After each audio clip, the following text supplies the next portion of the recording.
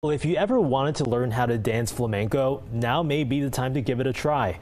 One of the oldest and largest flamenco festivals outside of Spain is happening now right here in Albuquerque. Diana Castillo shows us how this festival is more about experiencing it than just watching. Flamenco originated in Spain centuries ago. Not have to travel that far to experience the traditional dance. We were under Spanish rule for 300 years. And so, certainly, that influence of Spain is very present in New Mexico. And for 36 years now, Albuquerque has been home to El Festival Flamenco, where nearly 100 performers, some even coming from Spain, take to the stage for over 30 performances. People love flamenco. They come here from all over the world to take advantage of this very powerful experience. But organizers say part of the experience is not just watching flamenco live, but also learning it.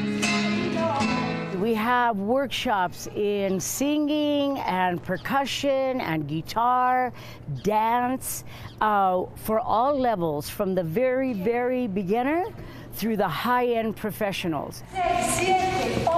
Performers like Olga Pericet teach some of these workshops.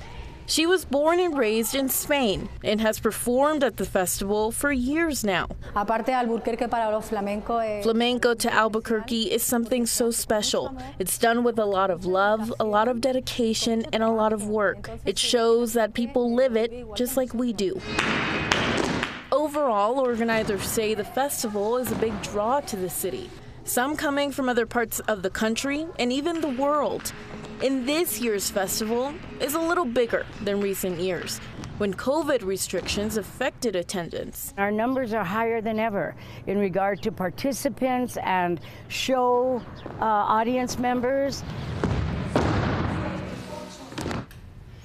The festival started last Friday and will run until June 17th.